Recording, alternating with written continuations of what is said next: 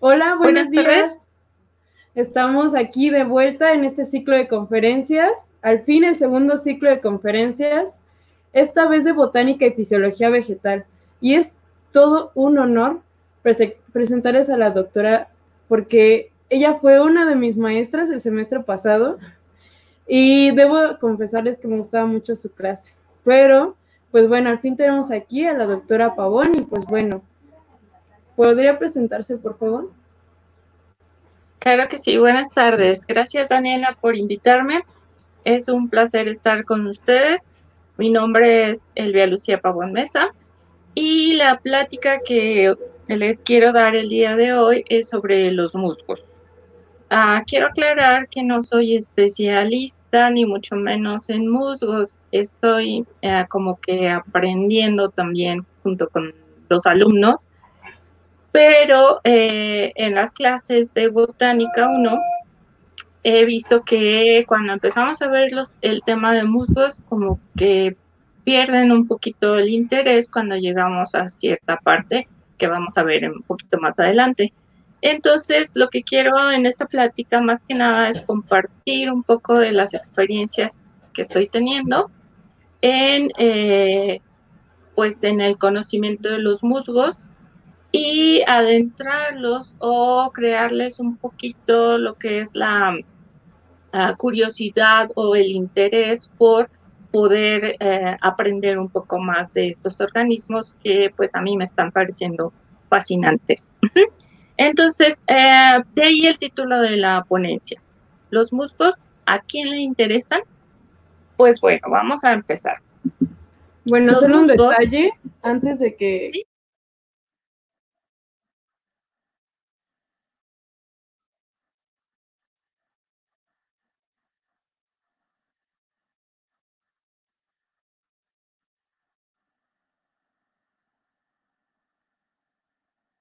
Hola.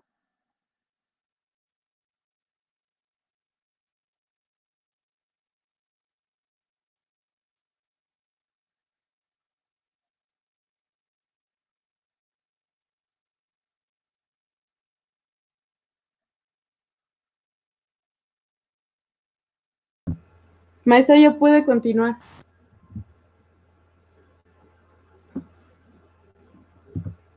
Maestra, ya puede continuar. Ok. Entonces, ah, vamos a iniciar con la pregunta de ¿qué son los musgos? Para iniciar, son plantas terrestres dentro de lo que se conoce como embriofitas, porque son plantas que eh, durante su ciclo de vida forman un embrión cuando se realiza la fecundación entre el, sexo femenino y el sexo masculino, se da la formación de un embrión.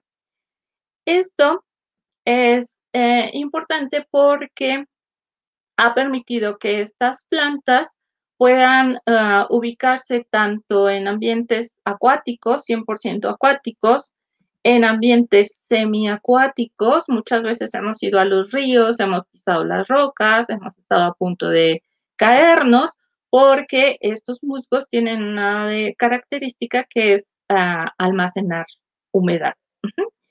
Eh, también en ambientes ya más alejados del agua, pero con mucha humedad, en bosques, también los podemos encontrar en el piso, en las rocas, en los árboles y son parte importante de la comunidad y del ecosistema.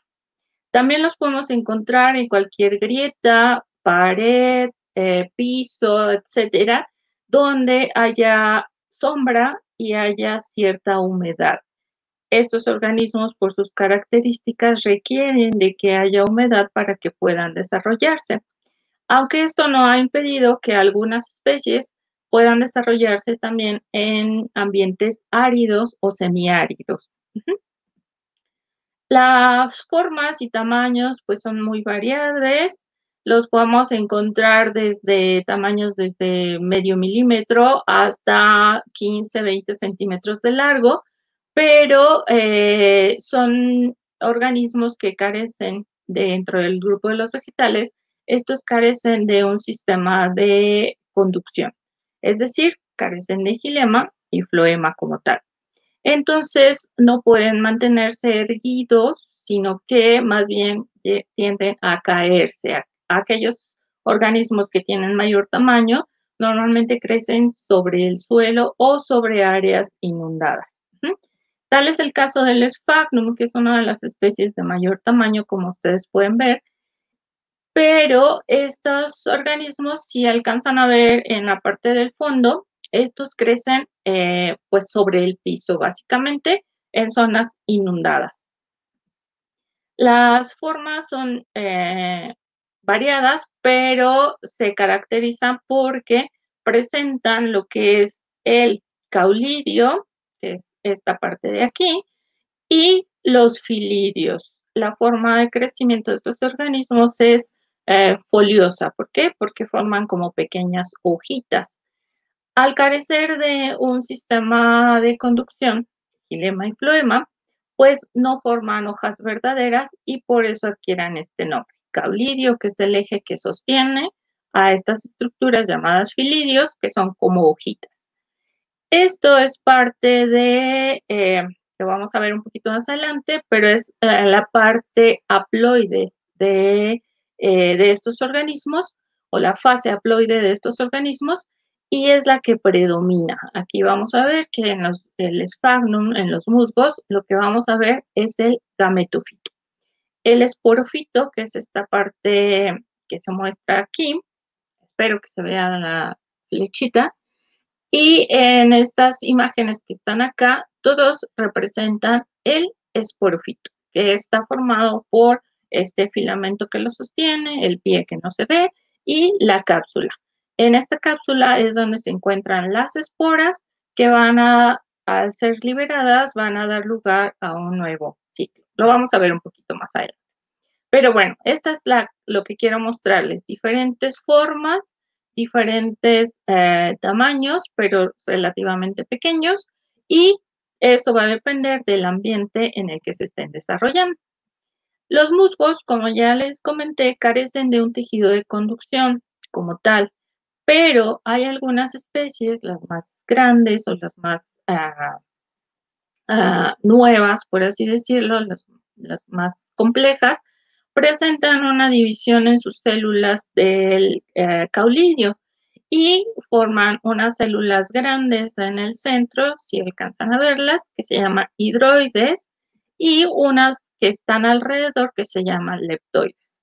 Esta disposición de estas células especializadas son parénquima, pero ya están ah, especializadas en una función, tienen esa función de transportar eh, agua y nutrientes.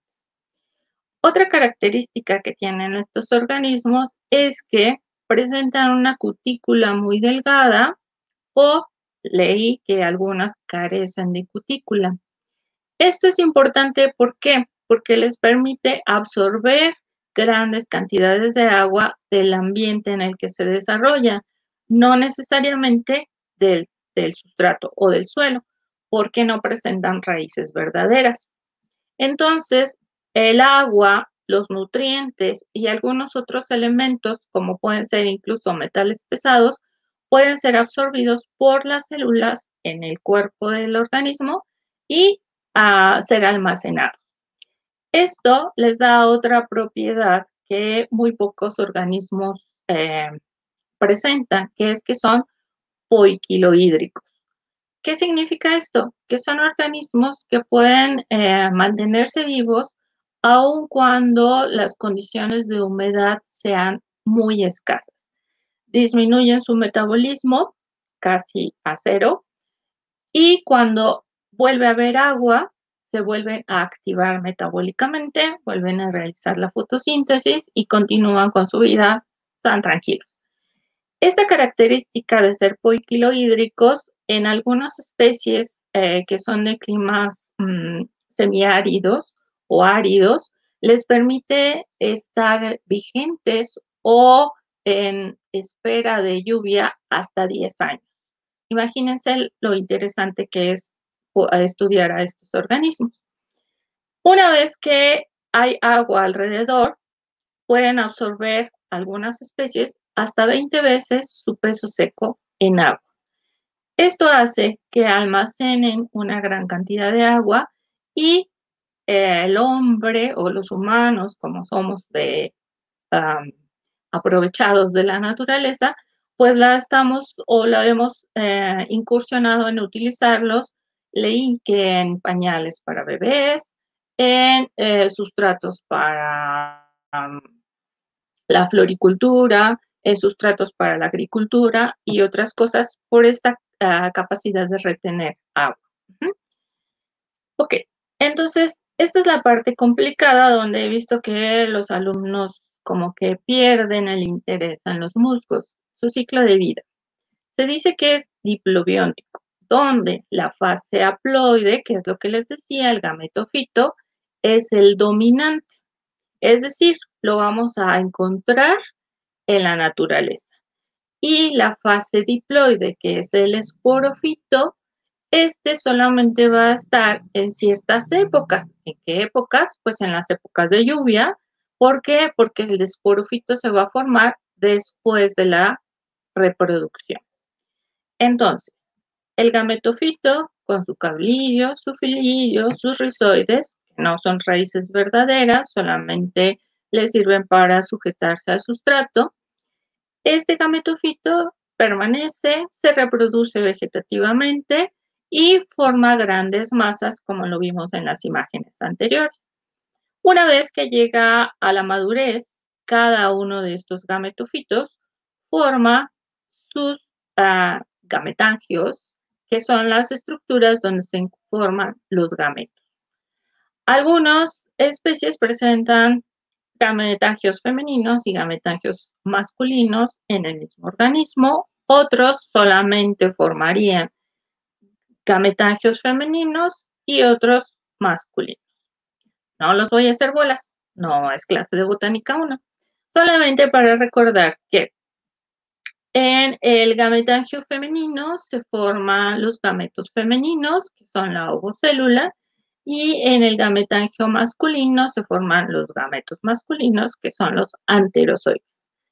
Estos anterozoides son unicelulares y son móviles. Tienen que transportarse y por eso necesitan el agua, porque son flagelados. Se transportan hacia los gametos femeninos. Se da la fecundación, se forma el esporofito Dentro del esporofito sucede la meiosis y se forman las esporas. Las esporas son haploides, son N, porque provienen de la meiosis. Estas esporas, que son N, al ser liberadas, van a formar nuevamente gametofitos y se reproduce el ciclo. Esta es la parte complicada donde eh, pues los alumnos dicen, ¿a quién le interesa? Si solo los voy a ver en la práctica o solo los voy a ver cuando eh, lleve botánica, ¿no? O si en mi proyecto este, no voy a ver musgos, voy a ver mariposas, ¿para qué me interesa conocer de los musgos? Entonces aquí viene la siguiente parte, que es donde quiero compartirles algunas de los ah, aspectos importantes que he encontrado de los musgos. Los musgos ah, tienen importancia biológica, obviamente. ¿Por qué? Porque como ah, biólogos podemos estudiar las especies. Alrededor del mundo se conoce que hay alrededor de 12.800 especies. Y de estas, en México se conoce entre 982 984, dependiendo de la literatura, entre especies y variedades. Dentro de estas especies y variedades, las familias que son más importantes, según Delgadillo, son estas que menciono aquí. Y el número de especies, si ustedes lo suman, pues les da alrededor de 200, 300 especies. Las especies que más se han estudiado, que eh, se han empezado a estudiar desde los años 30, si no me equivoco, y ha venido eh, pues creciendo el interés por estos organismos, eh, tanto por especialistas mexicanos como por especialistas extranjeros, que son los que tienen como más información al respecto. porque han venido a estudiar las especies en nuestro país. En México, los estados del centro y sur son los donde se han eh, conocido o se han registrado el mayor número de especies. Esto, perdón, ¿esto qué significa? Pues que hay eh, todavía mucho que conocer, mucho que estudiar acerca de estos organismos. Pero si a ustedes no les agrada o no les interesa estudiar a los musgos como especies, pues hay otras cosas en las que se puede interesar. Eh, la importancia de los musgos en la ecología. Ya dijimos que los musgos almacenan una gran cantidad de agua cuando hay alrededor. Entonces, esto hace que en los bosques, sobre todo en los bosques de alta humedad, estos musgos sirvan como un balance entre la humedad que hay en esos lugares. ¿Por qué? Porque cuando caen las lluvias, pues almacenan gran cantidad de agua y cuando eh, sale el sol, pues esta humedad puede eh, irse hacia la atmósfera. A su vez, estos organismos, por esa humedad que almacenan, también sirven como ah, hábitat de otros organismos o como una asociación con otros organismos. Tal es el caso de los hongos, tal es el caso de algunos ah, ah, microalgas, tal es el caso de especies que forman semillas, cuyas semillas al caer en los musgos y tener la humedad necesaria e incluso los nutrientes, pues pueden germinar y crecer. Pero no solo las plantas o los hongos están asociados con estos organismos. Si nosotros vemos más de cerca y nos adentramos hacia este mundo vegetal que es microscópico, podemos ver otros organismos. Este no es tan microscópico, pero si vemos la forma, se le conoce como la mantis de musgo esta especie pues habita en estos lugares y su forma lo asemeja. Algunos insectos también eh, pueden desarrollarse, reproducirse, e incluso dejar eh, huevos sobre estas capas de musgo. Pero ya en forma más diminuta podemos encontrar también ahí asociaciones o grupos de microalgas, dentro de ellas las diatomeas, que podríamos estudiar en eh, asociación con los musgos. Otros organismos, si hay microalgas, pues va a haber organismos que consuman esas microalgas, son los rotíferos. Estos organismos eh, también tienen esta capacidad de que los musgos no tienen agua todo el tiempo, ¿verdad?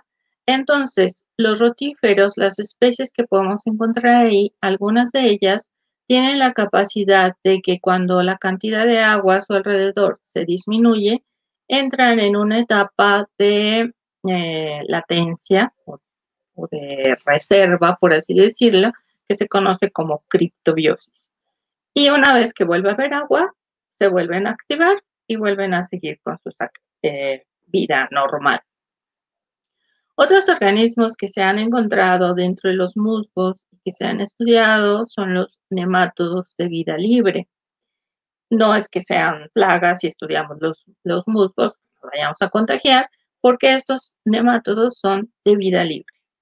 Algunos copépodos también pueden vivir dentro de los musgos, sobre todo en aquellos que viven en zonas inundadas.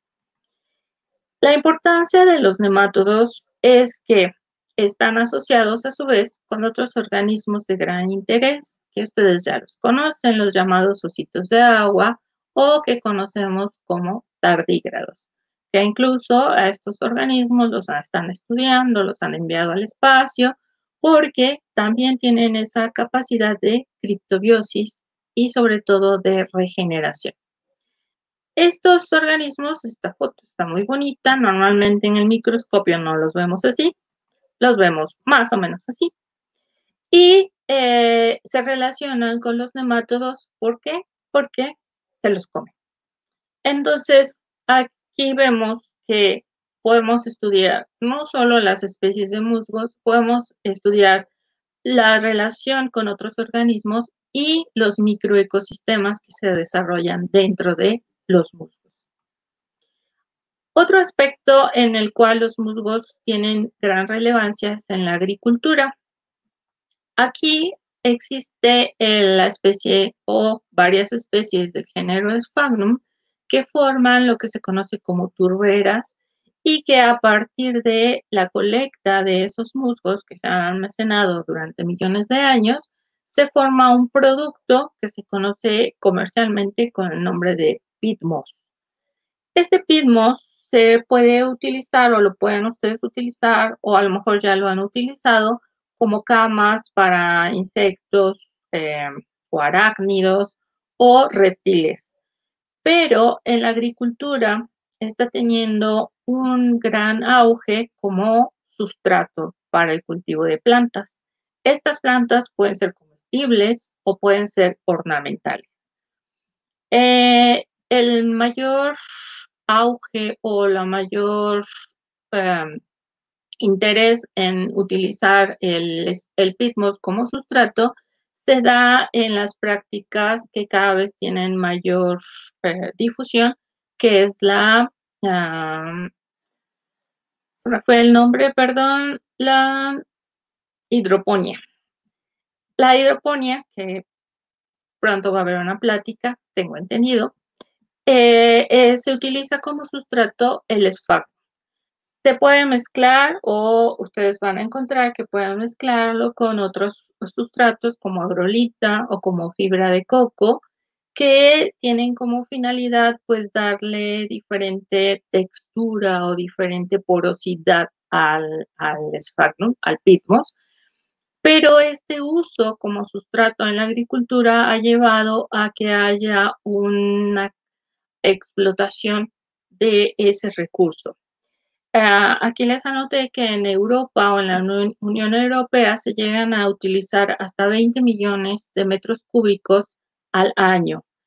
Esto es una cantidad enorme si lo extendemos a todos los países en donde se hace agricultura. Otra importancia es cultural. Aquí en México y en otros países de Latinoamérica, cada Navidad sabemos que se utiliza ya sea eh, la epífita, la bromelia llamada heno o pascle, o podemos utilizar el musgo para los nacimientos. Esto ha llevado, obviamente, con la disminución del hábitat de los musgos a una sobreexplotación de tal forma que cada año pues se colectan toneladas de musgos que son utilizadas para los nacimientos. Actualmente o de unos años a la fecha se han hecho campañas para que no utilicemos o no compremos musgo porque esto va en detrimento de los ecosistemas. Sin embargo, todavía es una práctica muy arraigada entre la población y es muy difícil de eliminar.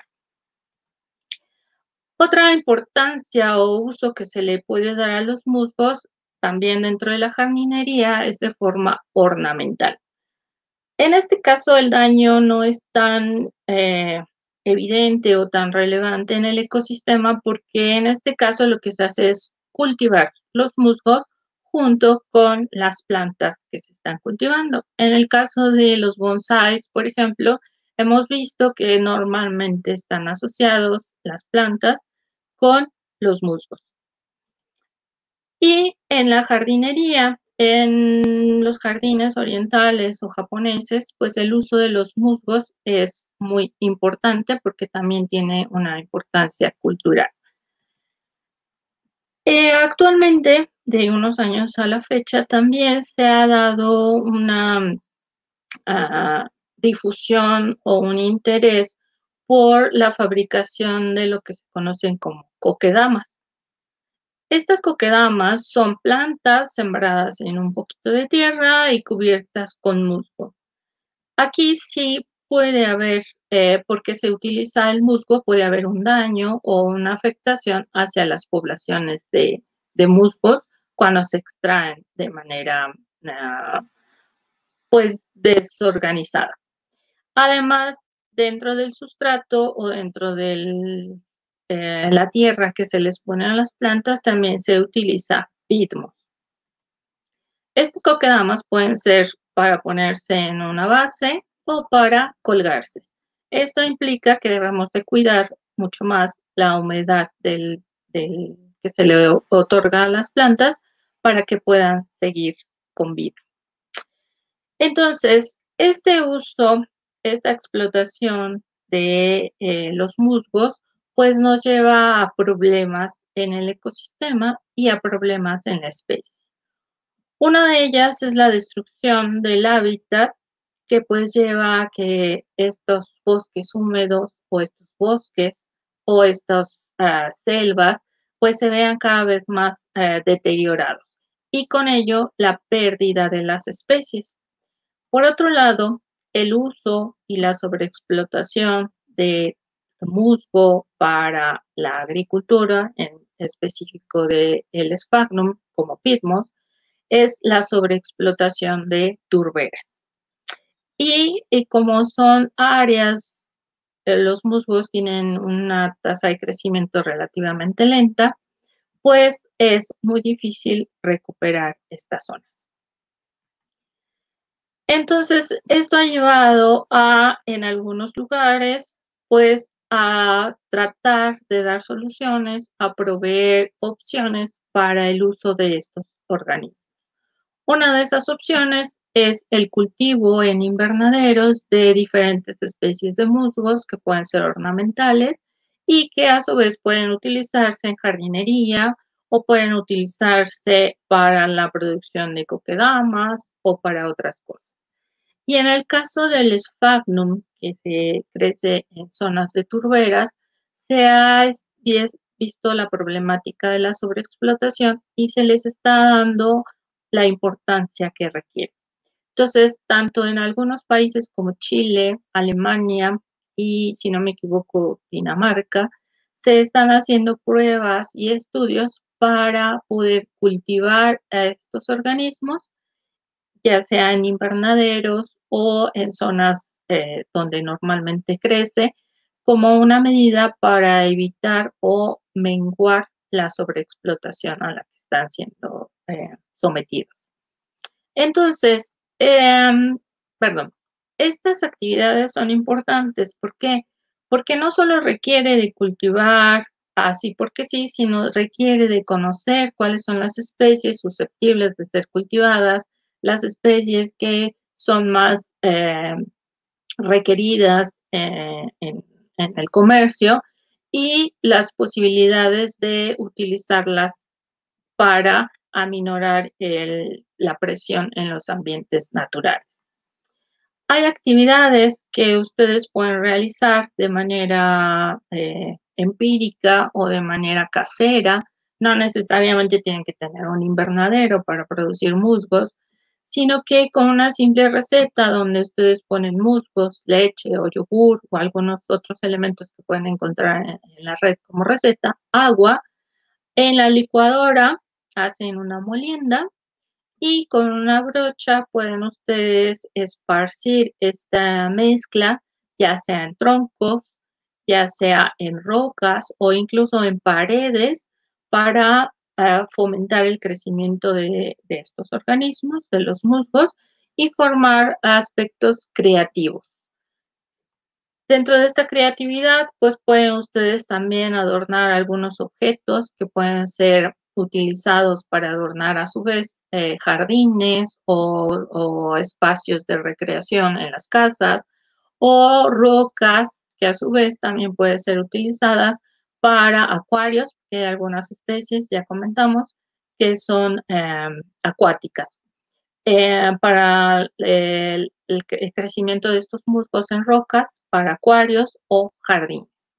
Otras actividades que ustedes pueden desarrollar eh, o pueden estar interesados en desarrollar con estos organismos en la fabricación de terrarios. En un recipiente que puede ser del tamaño que ustedes prefieran, se pone una capa de rocas, una capa de carbón vegetal, sustrato que puede ser tierra o puede ser incluso el mismo pitmo. Y sobre estas eh, capas se colocan las plantas y los musgos que ustedes quieran cultivar. Obviamente, lo recomendable es que sean especies eh, acondicionadas o adaptadas a alta humedad. ¿Por qué? Porque si ustedes cubren este recipiente, pues la humedad dentro va a ser muy alta. Unas de las especies que normalmente encontramos asociadas con los musgos son las plantas carnívoras y esto ayuda a mantener la humedad en el recipiente y a conservarlas por más tiempo. También si son más eh, creativos o pueden eh, reproducir o cultivar diferentes especies de musgos, con estas diferentes especies pueden crear como mini paisajes dentro de los terrarios o incluso desarrollar mini terrarios de unos cuantos centímetros en donde solo dos especies de musgo, como vemos aquí, pues crean un ambiente diferente. Otras actividades o soluciones que se han tratado de dar hacia el impacto negativo que tenemos los humanos en, el ambiente, en el ecosistema, pues está esta propuesta de unos ah, investigadores, ingenieros y ah, biólogos alemanes que crearon esta marca llamada City Tree. Lo que ellos hicieron fue sabiendo que los musgos pueden almacenar grandes cantidades de humedad, que pueden incluso captar eh, metales pesados y que al ser organismos fotosintéticos obviamente producen oxígeno, entonces crearon estos paneles de musgos que son autorregables, por así decirlo, hay un autorriego y entonces les permite permanecer eh, vivos durante cierto tiempo. Obviamente hicieron un estudio de las especies que eran susceptibles para este proyecto y las encontraron. Entonces, con estos paneles que han puesto en ciertas ciudades de Alemania y que actualmente ya han visto que sí funcionan, o por lo menos les ha parecido bien la idea y piensan extenderlo a más ciudades, eh, la finalidad es, pues, tener espacios donde se capten eh, contaminantes, donde se provea de oxígeno y se capture CO2. Entonces, eh, son actividades, acciones que se han tomado y que con el conocimiento de la biología y de las características de estos organismos, pues se les ha dado una utilidad y a su vez esto permite conservar esas especies. Ah, no, con actividades o con soluciones tan grandes, otras ideas o actividades que se pueden desarrollar es la creación de paredes verdes. Estas paredes verdes ah, se pueden hacer, en este caso, puede ser con musgos secos que se adornan y o se acomodan para formar una, ah, pues un cuadro semivivo o casi vivo, o se pueden utilizar bases de eh, las paredes eh, vivas, estas bases para sembrar musgos y mantener los musgos vivos. Esto no solo es ah, ornamental, sino que también ayuda a eh, conservar especies, a mantener la humedad, a incluso eh, equilibrar o tratar de equilibrar la temperatura en ciertos lugares. Entonces, ah, pues retomando la pregunta o el título de la presentación, ¿a quién le interesan los musgos? Pues, por lo que hemos visto, ah, les interesa a los biólogos, como nosotros, estudiosos de la vida, a los botánicos, que eh, su interés puede ser desde estudiar especies que tienen características que permiten entender cómo las plantas terrestres ah, pudieron extenderse o cómo esas primeras plantas en la evolución pudieron desarrollar características que les permitieron abarcar otros ambientes en la Tierra. eh, conocer las especies y otras características.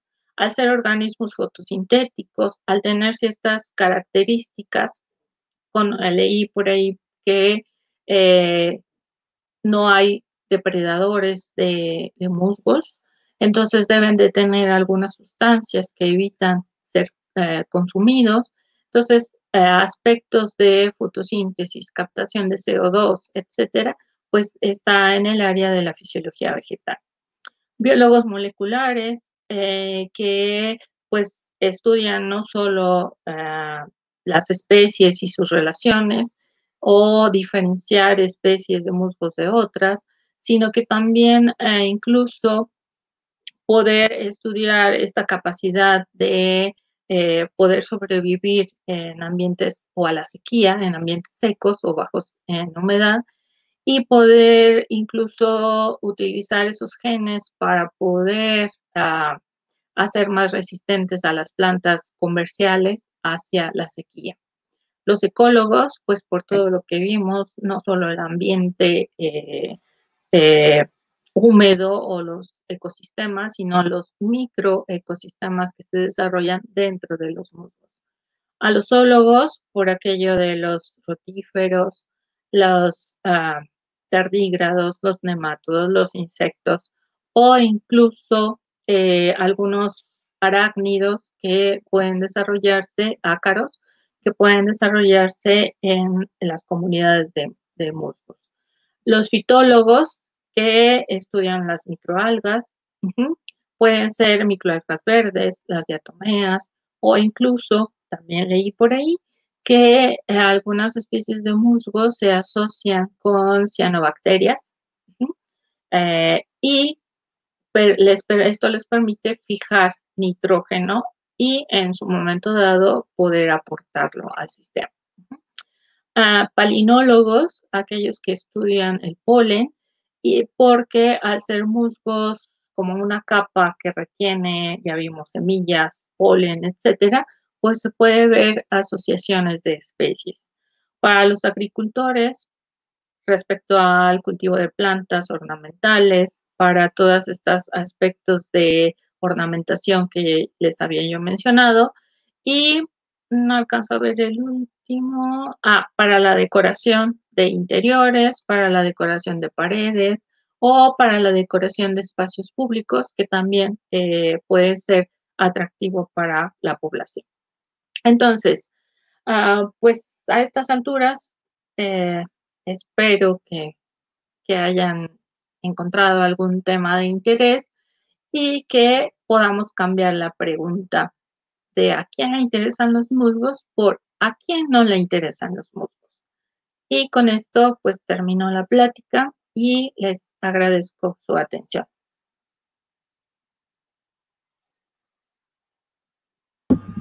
Pues bueno, ah, muchísimas gracias por su, por su ponencia. La verdad, no puedo creer que haya dicho que no es experta en musgos. Estuvo muy, muy bien explicado. Y Muchas gracias. Súper bien. Pues bueno, pasamos a la sesión de preguntas. Antes de que se me alteren, porque tenemos muchos espectadores y de hecho tiene, le mandan saludos a algunos chicos de Argentina y de Colombia. Pero antes de que me empiecen a mandar todas sus preguntas, tengo algunas acumuladas. Entonces se las voy a hacer. Voy a empezar con los chicos de YouTube. Ah, dice ah, Kevin Jiménez. Eh, mi pregunta es por qué al estar seco el musgo no pierde su color como en, eh, en otros casos de plantas. Eh, no pierde su color porque mm, el musgo que nos venden ya para estos arreglos florales o para arreglos en casa, normalmente es un musgo que está deshidratado y ha pasado por un proceso incluso de pigmentación. Pero si nosotros compramos musgo, por ejemplo, para nuestro ah, nacimiento, vamos a ver que al cabo de un tiempo ese musgo sí pierde la coloración, se vuelve cafezusco y eh, pues termina por morirse. Ese es uno de los problemas, que normalmente el musgo que es extraído, que utilizamos, pues termina por eh, morirse. Bueno, eh, Tichibi le manda, dice tres preguntas. ¿Qué dificultad tiene mantener y reproducir musgos en casa? ¿Conoce algunas especies legales o ilegales? ¿Y los musgos son monofiléticos o polifiléticos? Eh, los musgos son monofiléticos. Eh, de las especies, no conozco los nombres como tales, pero no soy experta, pero sí llevo algunos años cultivando plantas carnívoras, por ejemplo. Y dentro de estas plantas carnívoras, en el sustrato se llegan a desarrollar musgos. ¿De dónde llegan las esporas? No lo sé. A ver si aquí alcanzan a ver esta. ¿Dónde la pongo? Aquí, aquí, aquí. Ahí está. Esta. Es de una planta que compré hace hace un tiempo quité la planta, la puse en otra maceta y lo que se ve ahí es el musgo. Este musgo no está, las especies, ah, pues apenas, digamos, por lo que vimos, apenas se conoce y no tengo entendido o no conozco de especies que estén reguladas. En este otro caso, a ver si se alcanza a ver, Ahí está. Ahí está. Dentro de esos musgos que crecieron en mis plantitas carnívoras, saqué algunas para probar si se podían multiplicar y lo conseguí. Estos son recipientes relativamente pequeños, por si ustedes ven, apenas cabe en mi mano. Lo único que utilicé fue como sustrato pitmus y eh, arriba puse el musgo. Si ustedes buscan en internet podrán encontrar otras recetas, algunos que les dicen que puedan poner como una malla en el fondo o algo para que no estén los musgos sumergidos. Pero en este caso, estas como crecían dentro del musgo, dentro del pismos que viene eh, como sustrato en las plantas carnívoras, pues se dio de manera fácil o relativamente fácil porque sí se lleva un poquito de tiempo. Eh, ya incursionando en tamaños más grandes, este es un, recipiente, y lo vende estos que se ocupa para sándwiches o para pasteles. Y eh, pues acá el musgo se ha logrado crecer en mayor tamaño. Mi idea, con el tiempo que me dejan las clases, es poderlo pues multiplicar eh, no a gran escala, pero sí eh, buscar las opciones para que pueda crecer relativamente más rápido. Bueno, ahora voy con... Y no sé si con eso...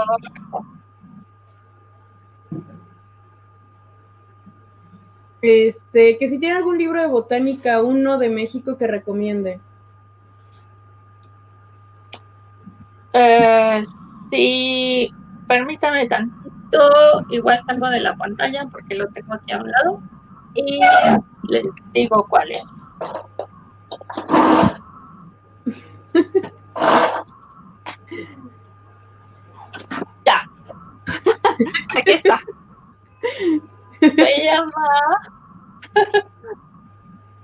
Introducción a las embriofitas de Susana Valencia Ábalos como editora este, para botánica me ha ayudado mucho. Ok, Jorge Rivero, ¿existe alguna ley o norma que regule la explotación de los musgos? En realidad lo desconozco, pero em, como les decía, como no, como no son especies muy conocidas, tendría que checar en la en la norma eh, para saber si hay algunas especies que estén ahí registradas, pero hasta donde sé, no. Muy bien, Rocío Ramírez. Esa sí se la, se la debe. Bueno, Rocío Ramírez, ¿qué sería lo más recomendable para hacer cuando encontramos musgo extraído de su hábitat natural? Pues lo que podemos hacer si es sabemos que es un hábitat que nos queda cerca, pues regresarlo a su hábitat. Pero ah, recordemos que, por ejemplo, aquí en México hay bosques que son de climas templados, donde las temperaturas oscilan entre 15 y 20 grados eh, a, lo largo del año. Y tenemos bosques tropicales donde las temperaturas pues son más altas. Entonces, si nosotros llevamos una especie de musgo de un clima tropical a uno de zonas templadas, obviamente pues se va a morir. Entonces, lo que podemos hacer si tenemos el interés, pues intentar cultivarlo o mantenerlo el mayor tiempo posible o si nos queda cerca el hábitat, pues regresarlo a su lugar de origen.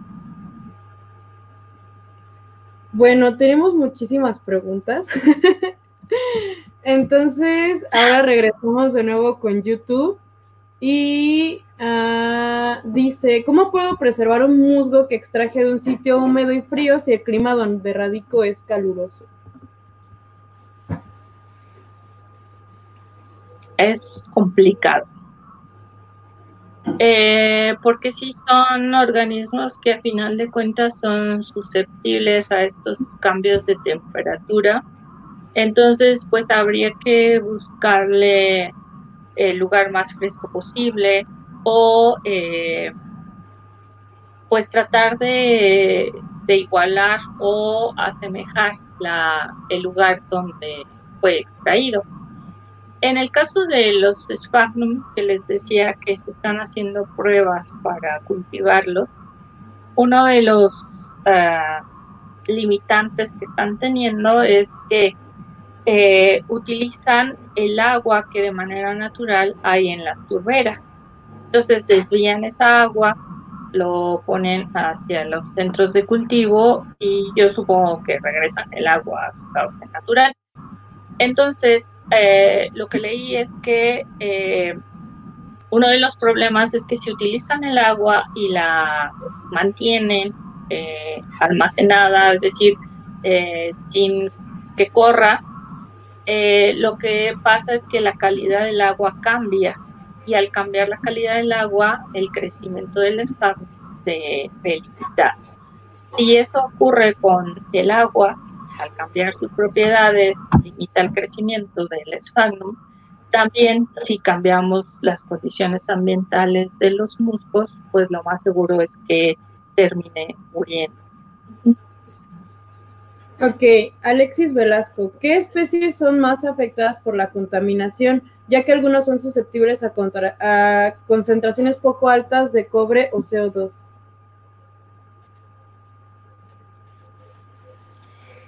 Sí, ah, les digo que de las especies desconozco, tendría que buscarlo, no sé si haya manera de que después yo te pase así como la lista o, los nombres, pero sí hay algunos estudios donde incluso hay alguna especie, que no, no me pude aprender el nombre, que incluso es indicadora de presencia de cobre.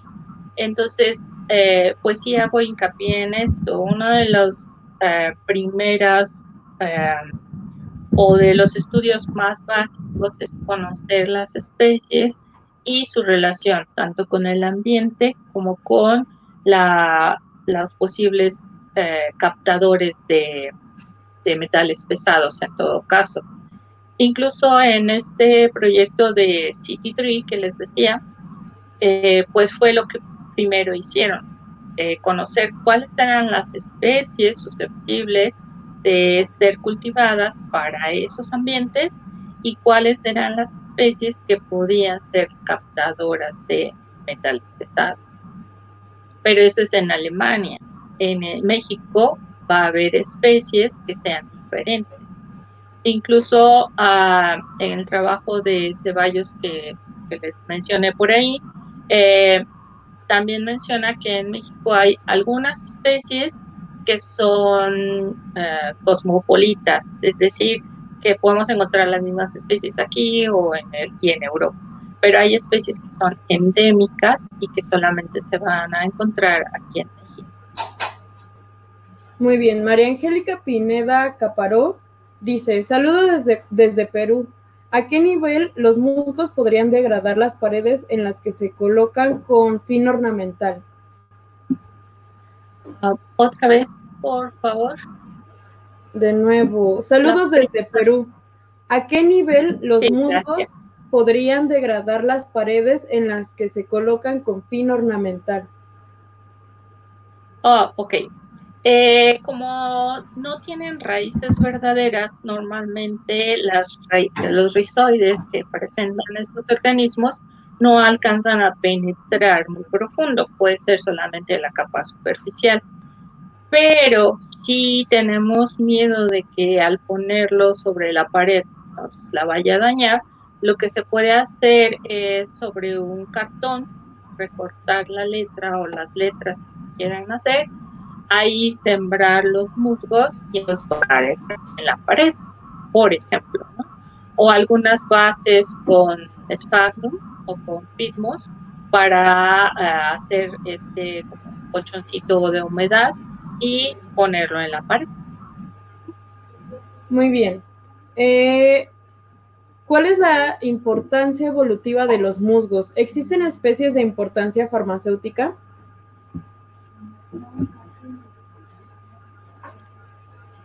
Sí, eh, la importancia evolutiva de los musgos es que son especies actuales, pero tienen características que nos hacen pensar que las primeras plantas de las cuales no tenemos registro, las primeras plantas terrestres, que al carecer de este tejido con pared secundaria, gilema o otro tipo de tejidos, no quedaron rastros de eh, fósiles. Entonces, es el estudiar a estos organismos nos permite conocer o tratar de conocer cuáles eran las características de esos primeros organismos que se establecieron en la Tierra. Y la otra pregunta era, ah, que si tienen importancia médica. Sí, les quedo de ver las especies, perdón, pero sí hay algunas especies que se están estudiando como antibióticos o como antitumorales. Hay algunos trabajos donde se se trata de visualizar o conocer esto porque dentro de eh, el uso eh, de los hombres hacia la naturaleza, pues algunas especies de musgos ya en ciertas localidades se han utilizado con estos fines, como antibióticos o como este, controladores de ciertas enfermedades. Muy bien, esta pregunta me causó mucha curiosidad de Omar Ugartechea. Hola, ¿algún musgo es comestible? Ah, estoy pensando en lo que leí. Eh, no, no, no he leído algo al respecto de que sean comestibles. De hecho, lo que les decía es que eh, uno de los intereses de, de, estas plantas, de estudiar estas plantas, es que no se conocen depredadores o consumidores de musgos. Entonces, más bien yo pensaría que tienen sustancias que pueden eh, o causar un mal sabor y que por eso no las consumimos, o que incluso pueden llegar a ser eh, relativamente tóxicas. Ok, Lorena Chávez Sánchez. ¿Sabe qué estudios o aplicaciones de musgo pueden pulir aguas tratadas por su capacidad de asimilar metales pesados?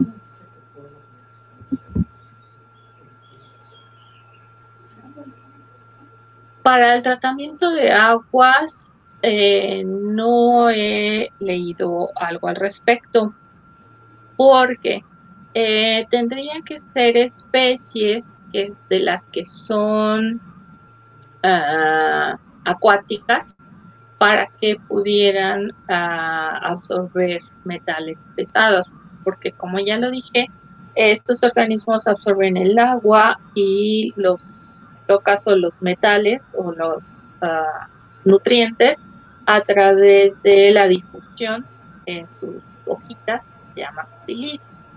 Entonces, eh, más bien tendría que buscarse alguna especie que fuese acuática para probar o estudiar si ahí esas especies pueden absorber metales pesados en agua.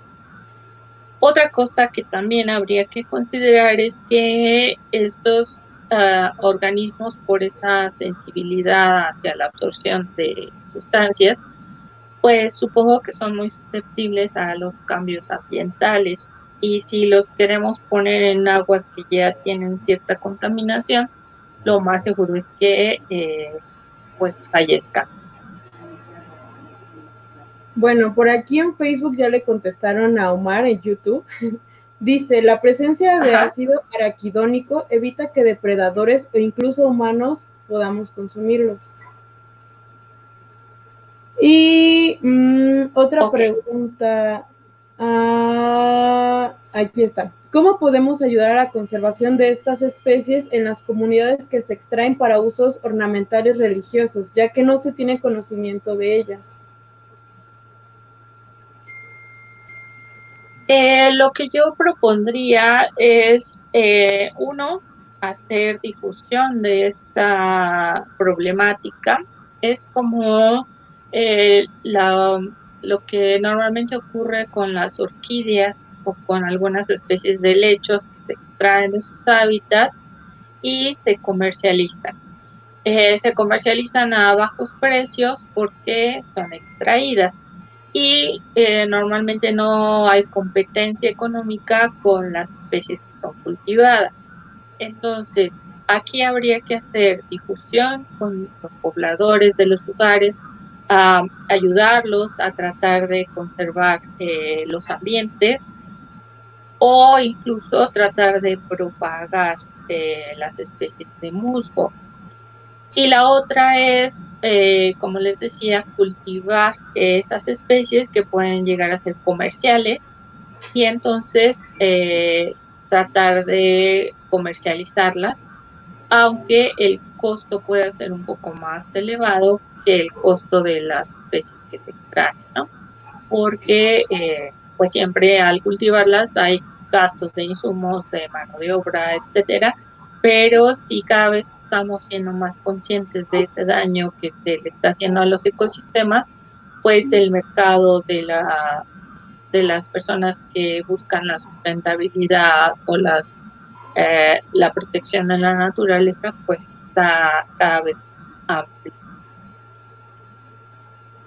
Muy bien, Mara Villalobos pregunta sobre los terrarios, pero en YouTube me parece que hay bastante información sobre cómo hacerlos. Hay videos muy buenos en donde explican perfectamente cómo hacerlos. Y para concluir, nuestra última pregunta, ¿cómo fluctúa la presencia de musgos en el rango altitudinal del dosel de un árbol?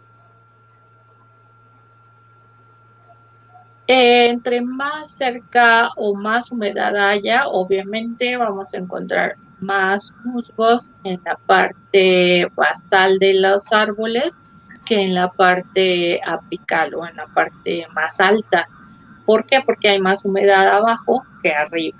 Eh, y entonces también dentro de los musgos vamos a encontrar especies que son terrestres 100% y especies que son epífitas. Dentro de las especies epífitas, estas sí las podemos encontrar en zonas más arriba del suelo, sobre las ramas en los árboles también va a depender del ambiente. Por ejemplo, en los bosques húmedos o bosques de niebla que se conocen, como aquí la humedad ambiental es relativamente alta, pues podemos encontrar mayor abundancia o mayor número de especies epífitas que en bosques eh, que son menos húmedos. Pues bueno, eh, con esto, pues doy por concluida esta conferencia con la que empezamos este ciclo. Quiero agradecerle muchísimo por su apoyo, por estar aquí, por esta magnífica ponencia. De verdad, muchísimas gracias por estar aquí, doctora. Al contrario, gracias a ustedes y voy a buscar las listas de las especies que quedaron pendientes y ya te las paso para que más adelante aquellos que tuvieron la duda puedan resolver. Claro, pues bueno, este ciclo está hecho para ustedes, sobre todo muchas gracias por asistir. El día de hoy tuvimos público de bastantes partes de Latinoamérica y de verdad les doy muchas gracias por estar aquí porque sin su presencia realmente este proyecto no, no podría progresar. Y pues bueno, gracias a Fesis Tacala por brindarnos el espacio y el apoyo también. Y pues muchas gracias, que tengan muy buena tarde todos.